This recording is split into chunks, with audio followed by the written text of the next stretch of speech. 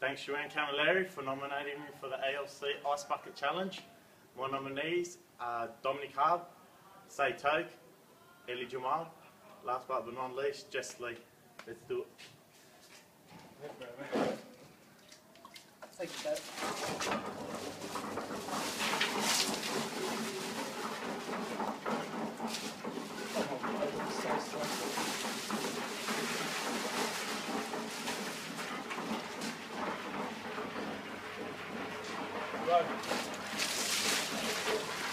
Watch his head. what's? What's?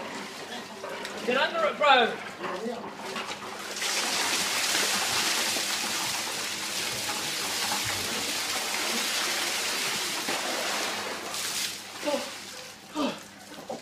Come.